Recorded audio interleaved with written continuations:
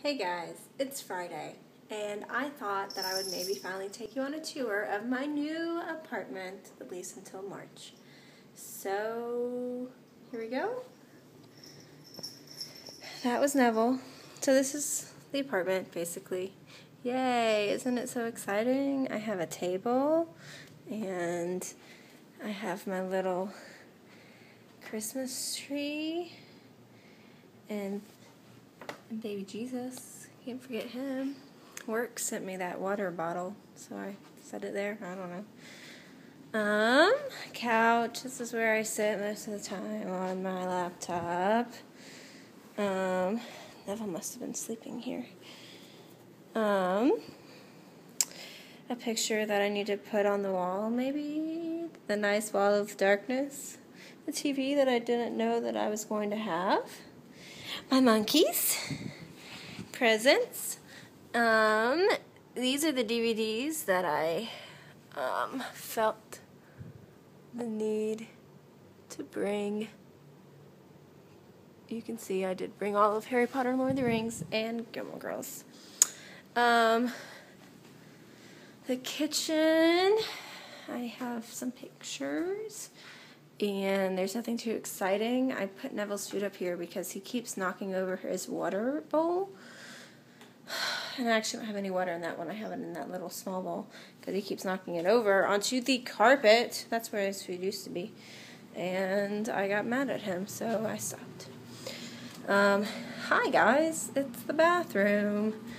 In my like super big tub that makes me want to actually take a bath. Um, and then my bedroom with the blanket that is clearly meant for a twin bed, but I mean, I don't care. Make it work, right?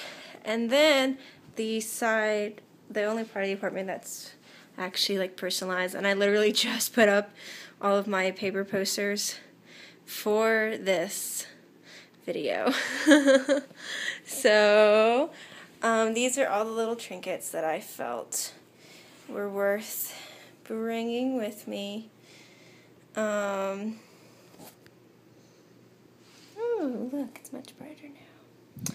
So, yeah, and then posters like my Lizzie Bennet poster, which got super, super wrinkled by a journey that I had no control over, and a cat all the stuff that goes in a desk that I do not have. Uh, not a pretty view.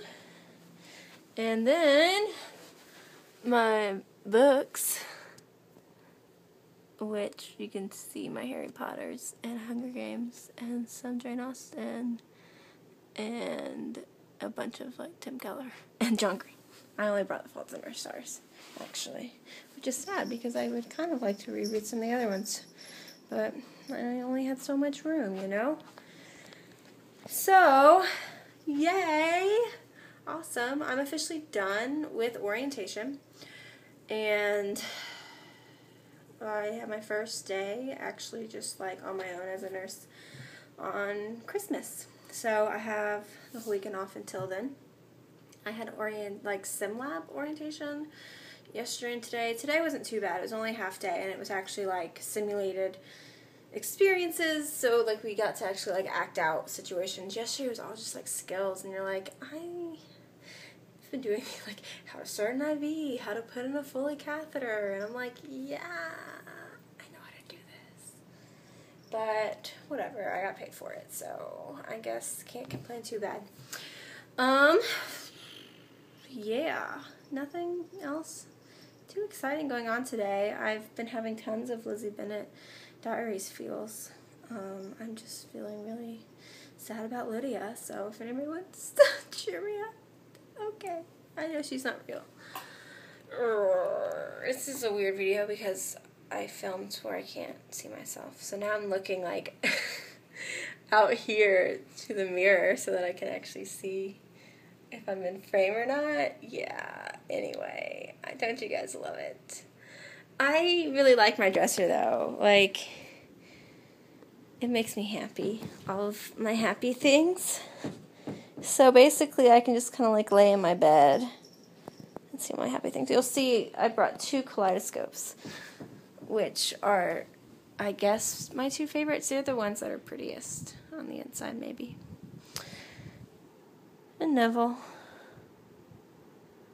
who is just like, why are you looking at me? Oh, yeah. I didn't show you my closet. I guess I could show you that. Closet. Look how few clothes I brought. I brought a lot of dresses, actually.